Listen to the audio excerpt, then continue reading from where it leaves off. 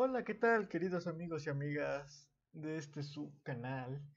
Soy su presentador super único Josh. El día de hoy empezamos una nueva serie que trata de actividades para entretener a nuestros hijos en cuarentena. ¿Cuántos de ustedes no están ya desesperados porque siempre andan brincando, gritando por todos lados? Y esto es muy sencillo. Pero acompáñame a ver este video y te daré unos tips y trucos y qué actividades hacer sobre todo. Lo más importante son qué actividades. Este es, una, este es el primer video de una serie de 5 videos con los cuales ustedes van a obtener la información necesaria. Bueno, vamos a empezar. Primero establece, eh, bueno, vamos a hablar en el entorno. En este caso, nuestra casa.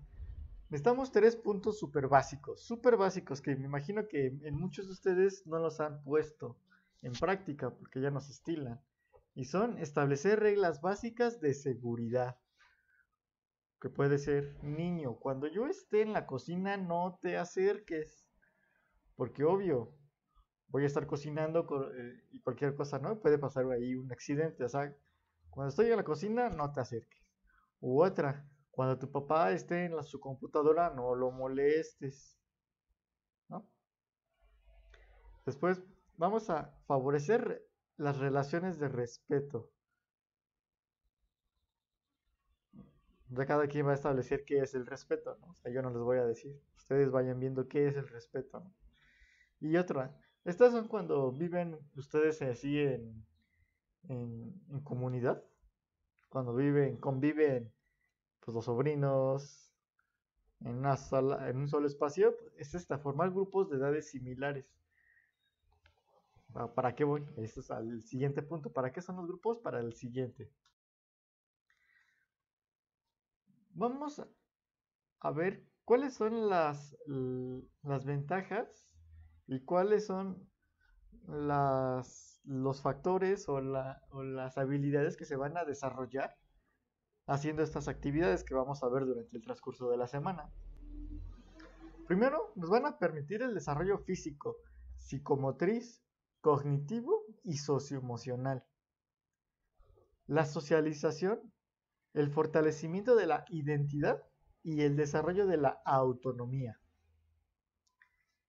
Creo que el siguiente es uno de los más importantes, el aprendizaje de tomar turnos para participar.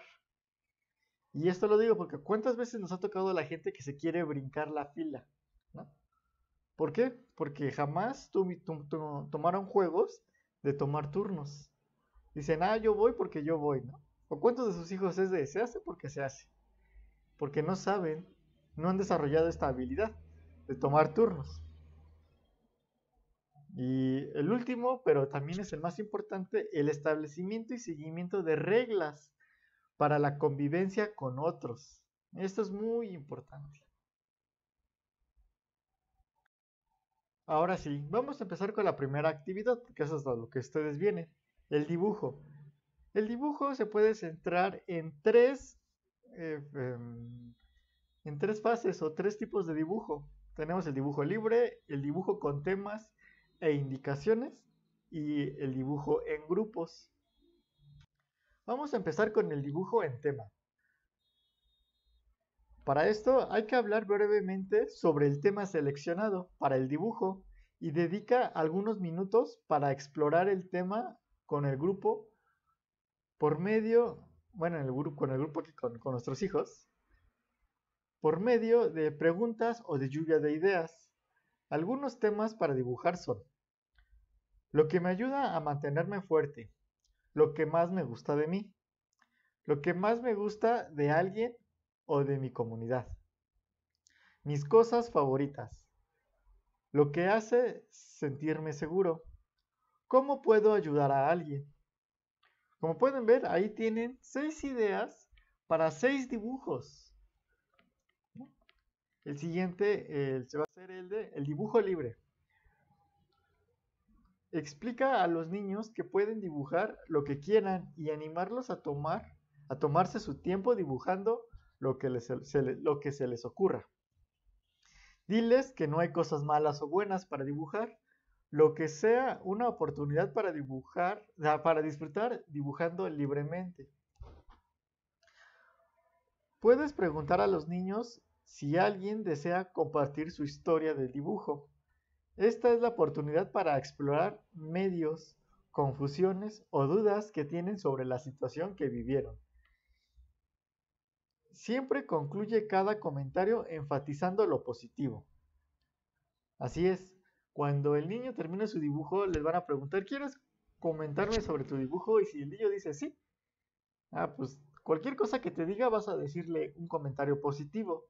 Ya sea, me encantó tu dibujo, me encantó tu historia, qué bonitos colores escogiste. Siempre enfatizando lo positivo. Y por último, el dibujo en grupos. Aquí en este caso vamos a, pedirle a los niños que formen grupos pequeños y piensen juntos un tema para el dibujo grupal. No importa si los grupos que eligen temas iguales o distintos.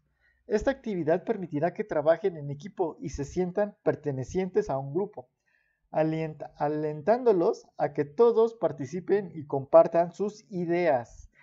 Aquí una idea de grupo puede ser que pueden pegar varias hojas con masking o con diurex hacia lo largo y que el grupo de niños dibuje una historia sobre la, sobre la tira de la hoja. Pues bueno chicos, muchas gracias por ver este video.